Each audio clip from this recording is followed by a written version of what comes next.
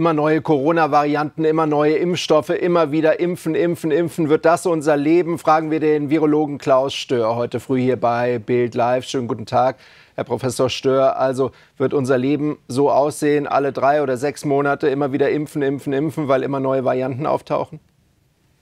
Die kurze Antwort lautet nein.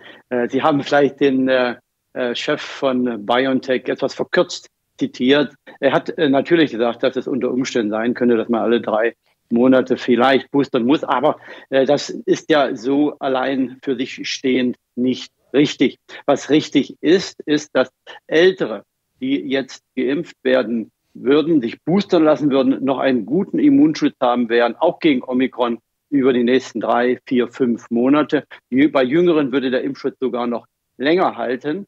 Äh, und über den nächsten Sommer hinweg braucht auch keine Impfung aufgefrischt zu werden. Der Infektionsdruck wird sehr gering sein, 10 bis 15 Mal geringer als jetzt. Das hat man im letzten Winter gesehen mit, äh, mit äh, dem Coronavirus und in allen vielen Wintern davor mit den Atemwegserkrankungen. Und im nächsten Herbst wird es so sein, dass die über 60-Jährigen, aber auch vulnerable Diabetespatienten, Patienten mit chronisch obstruktiver Pneumonie, Raucher, Übergewichtige sicherlich von der Impfung profitieren werden.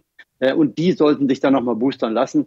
Aber jetzt alle drei Monate boostern, das ist ein bisschen verkürzt äh, zitiert. Nur ganz der, kurz, haben wir nicht äh, verkürzt ja. zitiert. Wir haben das Zitat kurz gemacht, aber nicht verkürzt. Herr, Herr Schein sagt nämlich, ja. Er rät jetzt schon nach drei Monaten wieder zu boostern. Er hat das nicht verallgemeinert, nicht für die Zukunft gesagt. Das haben wir nicht gesagt. Nur wir haben die Frage daraus abgeleitet, wird jetzt unser Leben so aussehen? Also brauchen wir jetzt alle drei, sechs Monate einen frischen Booster? Da sagen Sie ganz klar nein. Das war kurz zitiert, aber nicht verkürzt zitiert. Ja, Entschuldigung. Ja, ich wollte, jetzt, wollte das nicht äh, falsch, äh, falsch interpretiert wissen. Aber es ist tatsächlich so, wer sich im vor den letzten drei, vier, fünf Monaten hat boostern lassen und unter 60 ist, also eine sehr, sehr geringe Chance eigentlich hat, äh, schwer zu erkranken, äh, der sollte sich das überlegen, vielleicht nochmal vor Silvester, dann sind ja dann fünf, sechs Monate um, nochmal boostern zu lassen, auf jeden Fall.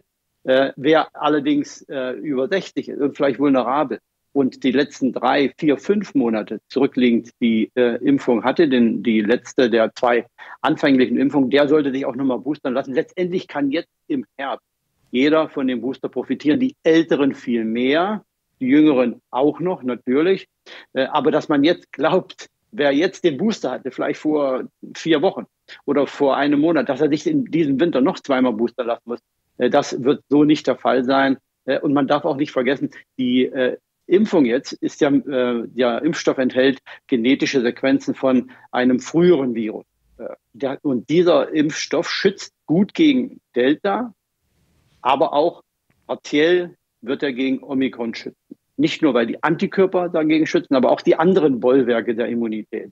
Und wenn man jetzt eine frische Impfung hat, wenn die Antikörper sehr hoch sind, dann wird es natürlich sehr gut schützen gegen Delta und auch noch relativ gut gegen Omikron. Deswegen ist es jetzt richtig zu sagen für alle, lasst euch nochmal boostern. Äh, jemand, der jetzt vor zwei Wochen deine letzte Impfung hatte, braucht das jetzt nicht gleich wieder zu machen. Der könnte sich dann überlegen, je nachdem, wie die Situation sich entwickelt, vielleicht im nächsten Jahr nochmal äh, im Winter oder vielleicht sogar, wenn der frische Impfstoff kommt, im April, Mai. Aber ich kann mir das, muss ich ehrlich sagen, nicht vorstellen, dass dann im April, Mai noch ein Booster notwendig sein würde, so kurz vor dem Sommer. Es werden auch sehr viele Menschen dann noch die natürliche Immunität draufgesattelt bekommen haben auf die, den, den Impfstoff. Also jetzt boostern lassen und dann wird es höchstwahrscheinlich durch den ganzen Winter durchreichen. Also ein vorsichtig optimistischer Ausblick zumindest in den Frühling. Vielen herzlichen Dank Ihnen.